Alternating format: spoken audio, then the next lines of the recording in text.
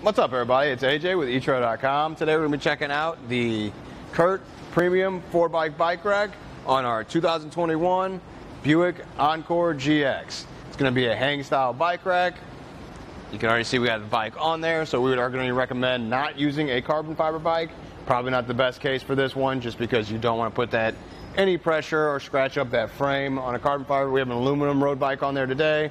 It's going to be just fine. Your mountain bike's going to be just fine. All the other ones will be all right. Now it holds the bike by the straps up here. Holds it nice and tight. I can shake the whole bike rack back and forth.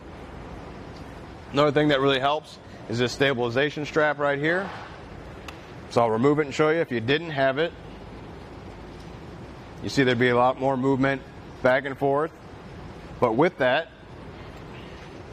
you strap it down. And now, it sure does move a little bit, but that's far less than there was before. So that's really good, especially when you get all the bikes on there. You don't have to worry about them bumping into each other or anything like that. Another thing that's unique about this one, it's got the tapered end here, which really makes it easier when you do have these four bikes and you go to put them onto the bike rack. Sometimes the frame might hit here. It's just easier to get through this portion to get to the back to get the bike. Let me just go ahead and take this bike off and show you what I'm talking about.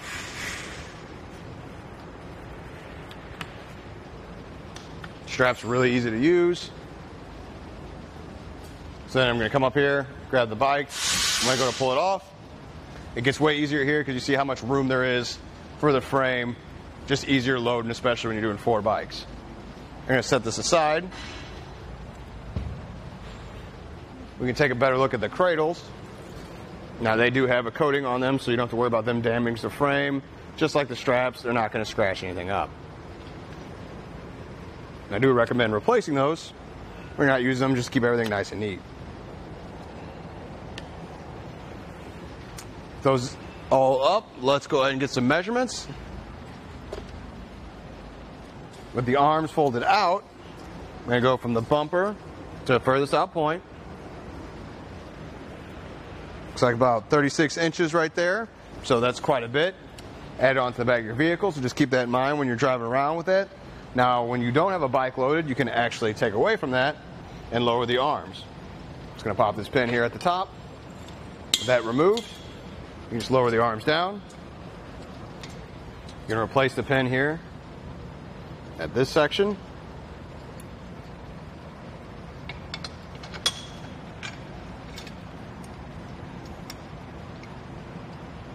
Right there. That's on me. Now let's get a measurement and see how much more or how much less space it takes up.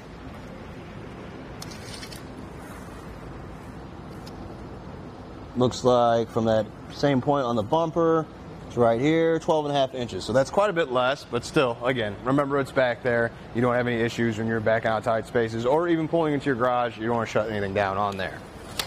Now another thing it does, let me put the tape measure back, as you can tilt it away from the vehicle. That way, if you need access to the back hatch, you've already got your bike rack installed. You don't have to remove the whole thing just to get back there. Now, how you do that, you're going to come down here. You got a clip and a pin. Pull the clip out to get ready because you're going to want to loosen up this bolt back here. That takes a lot of rattle out of your bike rack. You see as I loosen it, it moves around a lot more. That's gonna loosen that up so I can pop that pin out of the side, and then you pull this latch up here. So that is gonna let you lower it down to there, and now you have access to the back of your vehicle. So if you forgot to throw the cooler in, or you want to get the cooler out, and you've already got the bike rack loaded, you can easily do that, move it out, and don't have to take everything back off.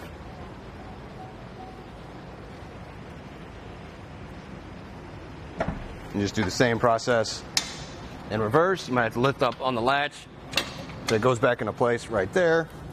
We'll replace the pin here at the bottom. And then our clip finally. And then we'll tighten down this knob too, just to keep it from moving around anymore. So tighten it up far less movement there. You see it's got an anti-rattle bolt here in the hitch. Fits two inch by two inch hitches. I can shake the whole car back and forth. You see there's no rattling or movement here in the shank, so you don't have to worry about it causing any issues when you're going down the road. Now, I will say that it also comes in a five, bar, five bike version, so if you just need one more bike to carry, you can get in four or five.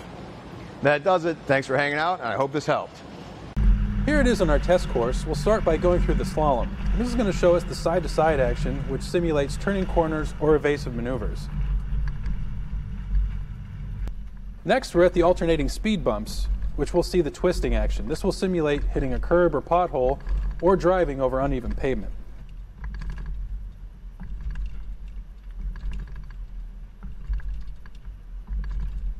Finally, we have the full speed bumps, where we'll see the up and down action, which is just like driving out of a parking lot, garage, or driveway.